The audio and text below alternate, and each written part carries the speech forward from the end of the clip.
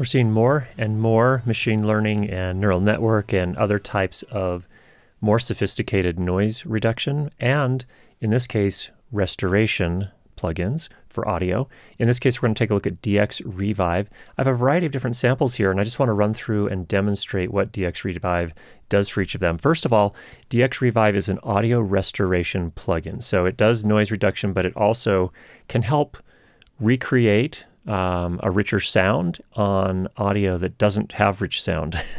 so we'll give you a, a sample of what that sounds like here in just a moment. So to start this off, I'm going to go ahead and pull up the dxRevive Pro. There's a Pro version and a standard version. The standard version, the difference is is that it just supports the studio profile, so it just it essentially makes your sound sound like it was recorded in a studio. The Pro version also has a few more options. It has a different algorithm called the uh, it has retain. So it has studio and it has retain. And what retain does in essence is it doesn't try to make it sound like the recording was done in a studio, but tries to make it sound natural but cleaner. So in any case, let's go ahead and run into the first sample here. This one just has some noise. This is what it sounds like at the start, like this. Recently, I had to uh, troubleshoot some computer issues, and I am not really used to doing that. I'm an obviously everyday computer user, but I don't know much about fixing issues or, you know, finding out why software is doing something. But the other day I was having issues with Logic actually because I had a weird plugin that was like messing it up. And it turns out all I had to do was move that plugin to a different storage area.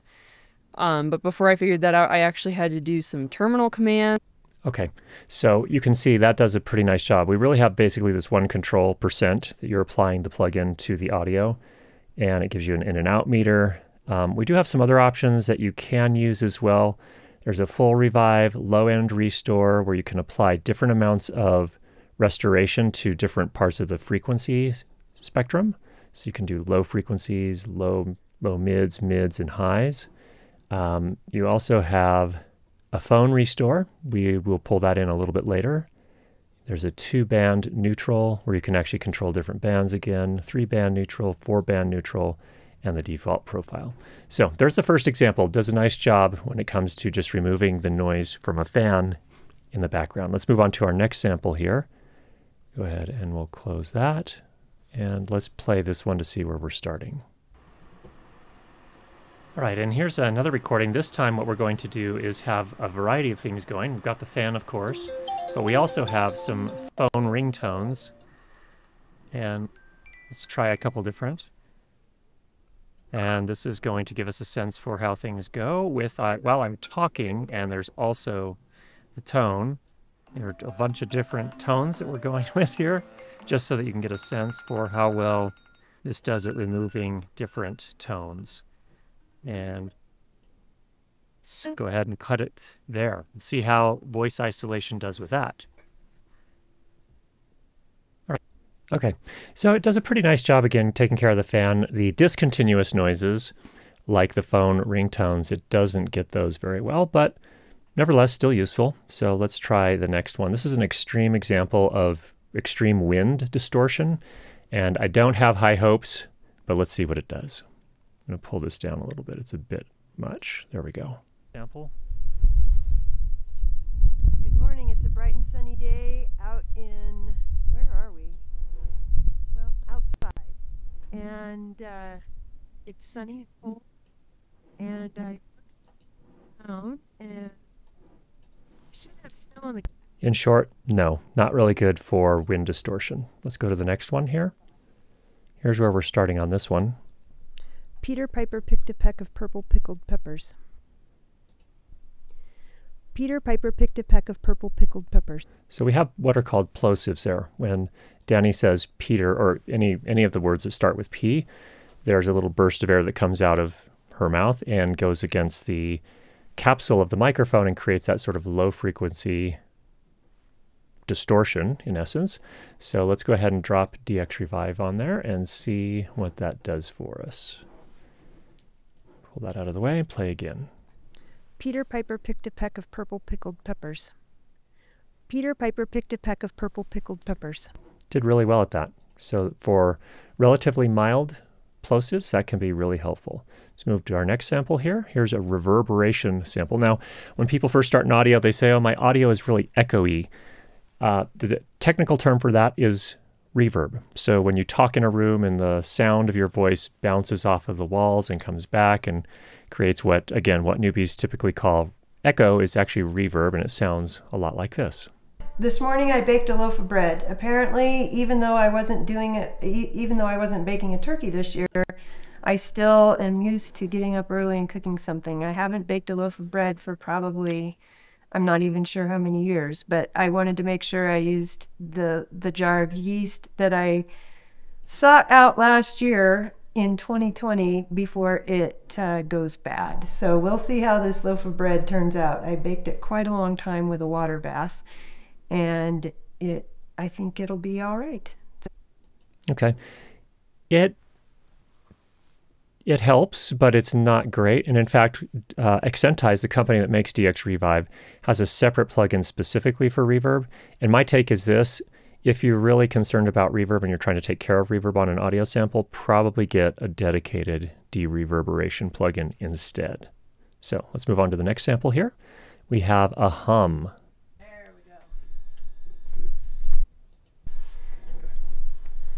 So I read about an interesting bird yesterday called the ocellated turkey, which lives down in Mexico and Central America, just in a very small area.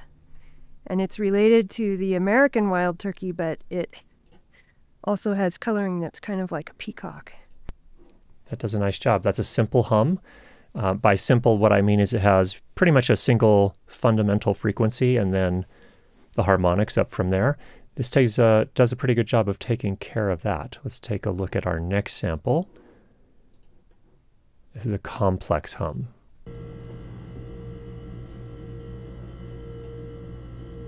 It was easier to know it than to explain why I know it. If you were asked to prove that two and two made four, you might find some difficulty, and yet you are quite sure of the fact.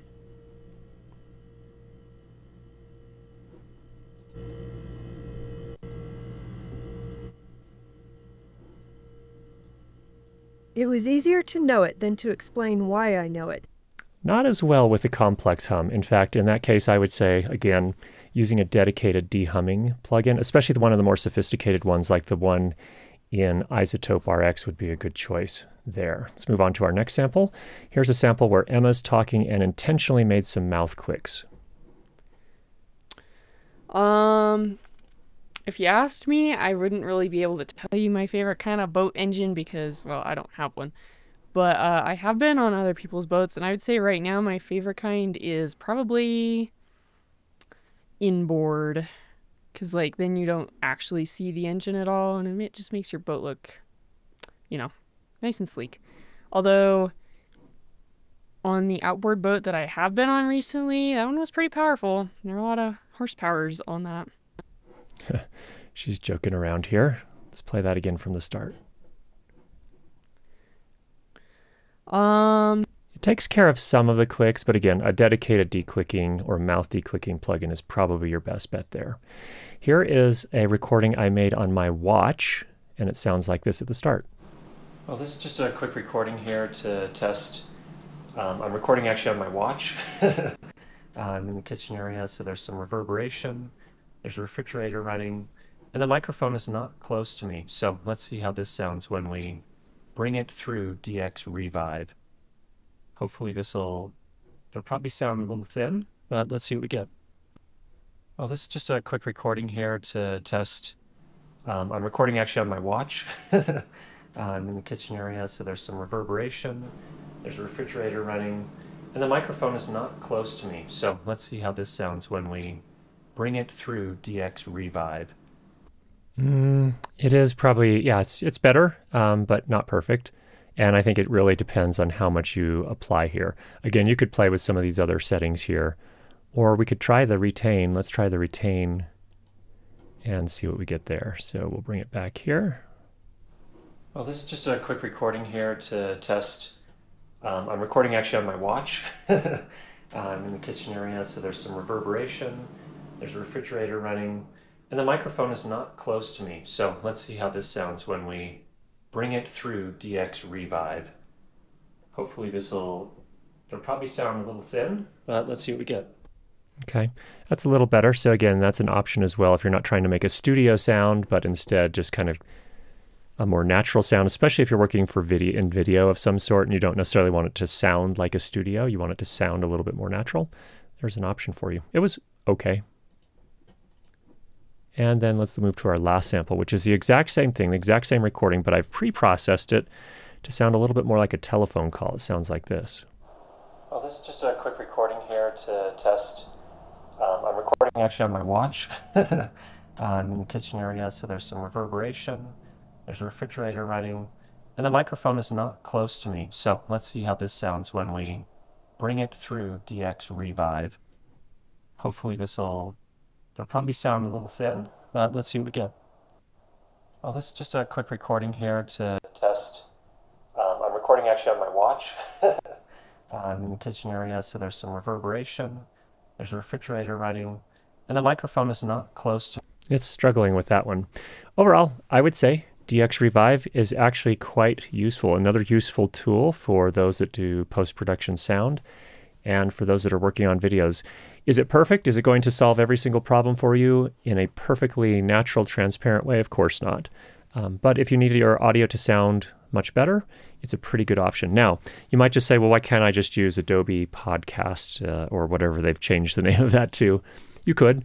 Uh, the difference here is that this is processing completely on your own computer. It's not, you don't have to send the audio into the cloud to be processed by Adobe. And um, I don't know what they're doing with your data or your, your files when you send it to Adobe. In this case, it's all right on your computer. It also uh, compares pretty favorably to some of the iZotope RX tools and Waves Clarity VX as well. So I would say that this is a pretty good competitor with Waves clarity. So, a couple of options, as I mentioned before, a standard option as well as a pro version. And the pro version has the retain algorithm, so you can, and you also have some additional options to kind of tune how it's restoring your audio. So, some good options out there. Hope that was helpful for you. If you have any questions, go ahead and leave those down below. If you've not already subscribed, make sure you do that. And we'll be sure to get you more great videos on how to improve your lighting and sound for video. Talk to you soon.